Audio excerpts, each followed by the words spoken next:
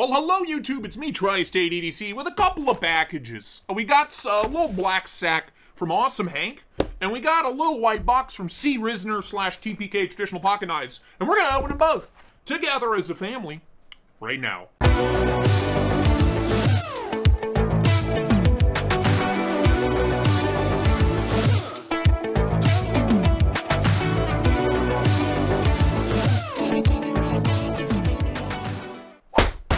Right. Let's start with the Hanks. Make this a two-part video. We're gonna use this, the uh, the Tiffany blue and pink Hectare from CJRB. Bust this open. Awesome Hanks reached out on Instagram. He's like, dude, I love your channel. I want to send you some stuff to check out. And I was like, please and thank you. I love a good Hank. Everybody loves a good Hank. What we got here? Thank you. Hope you like the Hanks. There's three in here. I think there's only two, my guy. Unless there's two in this. Oh, there's two in here. Okay. All right. Perfect. Perfect. All right. Yeah. Awesome, Hank. I had not even ever heard of this brand prior to him reaching out. We're going to start with this one. I shouldn't have thrown that piece of paper. We're going to start with this guy. See what we got. See what we got. These are about 20, 25 bucks, something like that. Oh, this is a little guy. I love this, this kind of Southeast Asian, Japanese art style. Beautiful stitching. We got the little um, leather tag here the brand tag. Beautiful. We got kind of like a Kraken situation going on on the back. Oh, yeah. Really nice microfiber uh, texture on the back material. That is a nice Hank, and I kind I really like this size. I mean, that's a damn pretty picture right there. I like little guy. I have some big ones. Here's here's one that are uh, you know, friend of mine got me. It's huge. It's massive. I like a big Hank, but look at this little guy in comparison. It's a little cutie patoot, dude. That's adorable.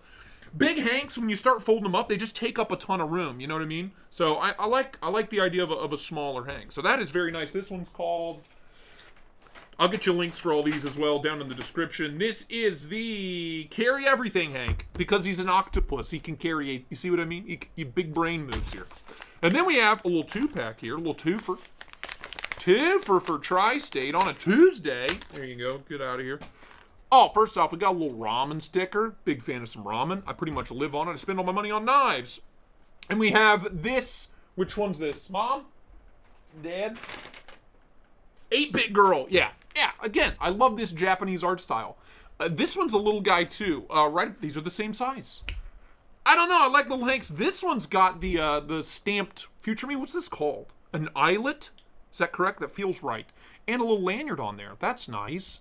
That's quality. Yeah, it's an 8-bit girl. It is what it says. It says awesome Hank. And again, that same Kraken backing, that beautiful micro microfiber texture. Oh yeah. I love, I love, and finally this one, they're all the same size. They're all adorable. I had no idea they were all so cute. And this one's just a good old clean classic Topo Hank. And uh, again, same story, beautiful stitching, got an eyelet, little lanyard here, excuse me and that Kraken microfiber backing. Oh, awesome, Hank. Links down below. Check them out. These are sick. Uh, pictures on Instagram as well. What a delightful little lineup there. Isn't that nice? I just love it. It's adorable. Works of art, all of them. And a ramen sticker. I may give some of these away. I may keep these. I'll probably keep these. I like this size a lot. And I like the way they look, and I like the art style. Links down below. Awesome, Hank. Shout out. Thank you so much, dude, for sending these to me. Now then, C. Risner, uh, TPK reached out to me the other day, literally yesterday, said he was shipping me something, and this arrived a day, less than a day later. He is a, an Ohio boy, local boy, kind of local, Bellbrook, not that local, but Ohio, we're in the same state, so it didn't have to go that far. Said he was sending me something. I had no idea it was coming this quick. Oh, yeah. Oh, yeah. Oh, yeah. Oh, yeah. Get that paperwork out of here. Get that out of here. Oh, yeah. It's a new exclusive. Nothing left in the box. Goodbye a new exclusive QSP, baby. It's been a minute since I've checked out a QSP. This one piqued my interest uh, because it is a full titanium button lock QSP penguin, which everybody loves the penguin. Love the box. I love the artwork on the box. They do a good job with that. The jigged tie pattern all over it. C. Risner Cutlery exclusive penguin single blade sheep's foot gold jigged titanium. Inside, we have the traditional QSP boxaroo. Nothing crazy going on here. The little drawer, classy. It's a classy maneuver. Got some stickers within. Nice. Alpha Wolf. Some paperwork. Oh, yeah. Gold, baby. Give me the gold, baby. Very nice. And this is the OG penguin size, not the big oversized one. Yes. Gold jigged titanium. So anodized gold, but a full titanium build. Lanyard loop, uh, titanium pocket clip, simple, clean, milled titanium pocket clip. Uh, silver, kind of stonewash hardware all the way around. We got the flipper, we got the thumb studs. Blade steel, S90V. This is a full pimped out penguin. Oh, yeah. Oh, yeah. Let me give you a, slow, a, uh, a closed size comparison. Spyderco Para 3. A little bit smaller, Tactile Rockwall, right about the same size as Rockwall. Right at Rockwall size. If you've ever handled any version of the Penguin, which there are about a million versions of this damn knife, uh, you know how big a Penguin is. Uh, we got the uh, the Illuminati logo on the pivot there. You got to have it. Flicker open. We got a flipper tab in that beautiful. Is that hollow? hollow ground built satin finish S90V blade. Hollow grind on a penguin. I didn't know it could get any better. S90V, mamacita. Love the jig tie. Just as clean and classy as it gets. Just a classic design at this point. Open size comparison, Para three Rockwall. Again, right in between these two. Hello? Right in between these two knives here. So a great EDC size for me and my tiny little hands. You know what I mean? Love it. Beautiful ergos in hand. Yeah, I mean, it's kind of blocky, but it is what it is. Nice texture from that jig titanium. Feels good. Choke back, four finger grip. Thumb on that jimping, locked and loaded, no problems. You can kind of trigger pull it, choke up right about here, thumb out on the blade. Feels like home, no issues. Pinch grip, you can. Uh, 60, 70% of the day. I wouldn't go any further than that. It's a little sketchy, but the perfect blade for a good pinch grip. It's doable. It's doable. I need a slightly bigger choil, but with that flipper tab, you can lock in. No issues. Beautiful stuff. Action on ceramic bearings. Yeah. Thumb flick. Snappy. Reverse flick. Beautiful. Flipper's a little soft. I'm going to fail it. Flipper, a little soft.